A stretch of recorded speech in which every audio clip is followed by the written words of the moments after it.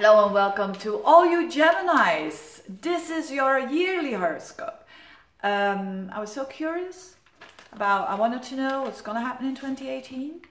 And uh, so I decided to make the horoscopes for 2018. It's a bit early, I know, but I'm sure some of you are as curious as me, and certainly Geminis, because Geminis are known to be very, very curious. So let's get started. Of course, there's a lot happening.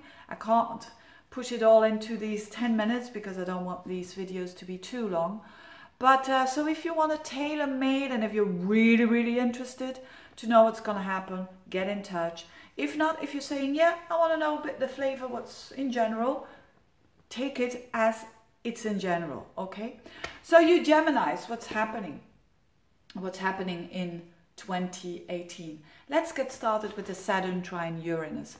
Uranus is about changes, Saturn is about holding, um, keeping on towards what's good and continuing with the old.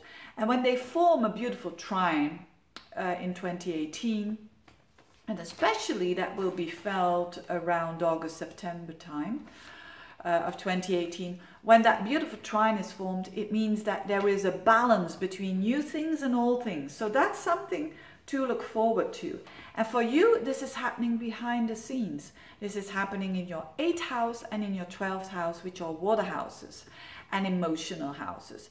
So there's something about you Geminis that behind the scenes, there is a combination of old things and new things combining with each other. So the eighth house where um, Saturn is, is a very complex house. It's the house of psychology, uh, it's the house of fears, it's the house of strength. So with Saturn there, you will have to work very hard to accomplish that. But Gemini, it, it is a sign that, that is not afraid of um, exploring. So and as Saturn in the 8 is normally quite, it, it's challenging, it's going to have help of Uranus in your 12th house, which is the 12th house, which is uh, the, the, things that you do yourself, uh, quietly, you know, privately, um, reading a book at home, taking a nice bath, all these kind of things, because it's in Taurus. Uranus shifts into Taurus, and um, Taurus is your 12th house of relaxation.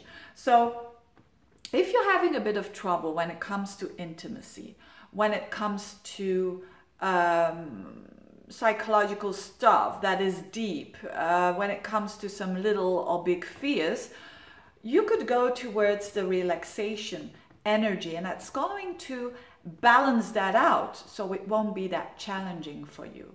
So that's a beautiful thing for you Geminis because Gemini is ruled by Mercury and that is the nervous system. So you're having a, a bit of a gift here in 2018 that those two planets are quite working together. Um, and that's nice. So that's on a very psychological level. When it comes to health and your work, um, it's not bad because you've got Jupiter in your sixth house of health and work. And Jupiter is a very expansive, positive planet. So, have you been ill, for instance, or have you suffered from a certain disease?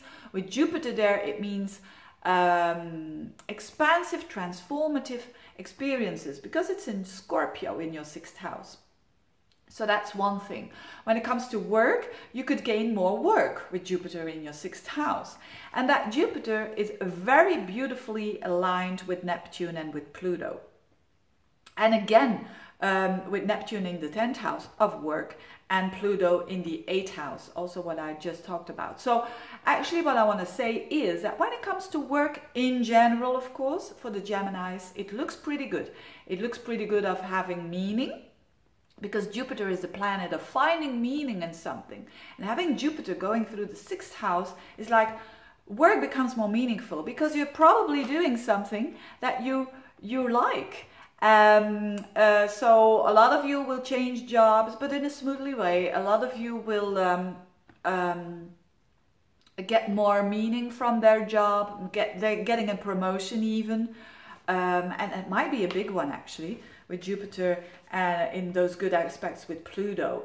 And um, Jupiter trining Neptune, which is kind of a magical aspect to have in those quite very rational houses could mean that because you implement a bit more magic in your work, a bit more inspiration, a bit more creativity, a bit more compassion in your work, then you will you will gain more on all levels, material, but also being content with what you're doing.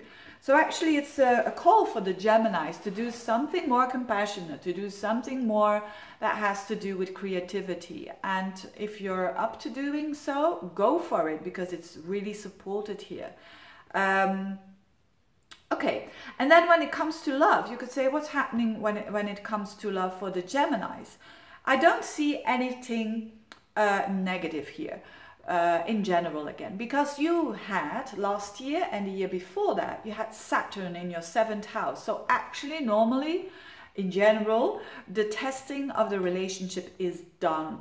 And that's a positive one isn't it? So relationship ships should go easier for you. Geminis should be less restrictive less responsibility should flow a little bit more that Saturn is out of your seventh house because the seventh house is a key house. It's a key area of life. And when that burden is gone, of course, then Saturn is in another house, but it's not a key area of your life, then it, it really is a relief. And um, so there are probably a lot of uh, a lot of you who had some complications with relationships or who had some re just responsibilities or or Saturn in the seventh often is also when your partner had a difficult time, was having a depression or a burnout or whatever, with Saturn in the seventh house, I've often seen that as well. And that's gone now. So it looks like uh, if you're in a relationship that your loved one is happier. So that makes you happier too, right? Of course. So all in all, a pretty interesting year. I wish you all the best, you Gemini. I'm not going to talk about all the retrogrades because that would be that that's too detailed um, and and and it's not really giving you the the, the overview.